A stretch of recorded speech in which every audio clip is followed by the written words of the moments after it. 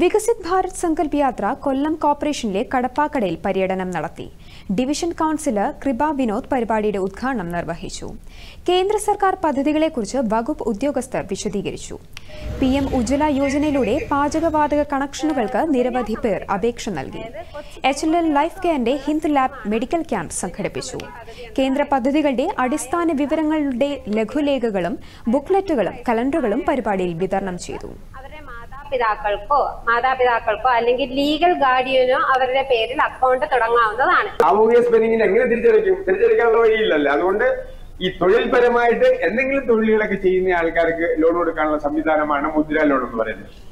പത്ത് ലക്ഷം രൂപ വരെ ജാമ്യമില്ലാതെ വായ്പ കൊടുക്കാനുള്ള സംവിധാനം എല്ലാ ബാങ്കുകളിലും നിലവിലുണ്ട്. പൈസയ്ക്ക് ആവശ്യമുണ്ടെങ്കിൽ നിങ്ങളുടെ കയ്യിൽ കാശില്ലെന്നുണ്ടെങ്കിൽ ബാങ്കിനെ അപ്രോച്ച് ചെയ്യുക അത് അതായിരിക്കണം അപ്രോച്ച് ചെറിയ പച്ചക്കറി വിൽക്കുന്ന ആൾ മുതൽ ചെറിയ കച്ചവടം ചെയ്യുന്ന ആൾ മുതൽ എല്ലാവരെയും ചേർത്ത് പിടിക്കാൻ വേണ്ടിയിട്ട്. അല്ലെങ്കിൽ അവർക്ക് ബെനിഫിഷ്യൽ ആയിട്ട് കിട്ടാൻ വേണ്ടിയിട്ടുള്ള ഒരു സ്കീമാണ്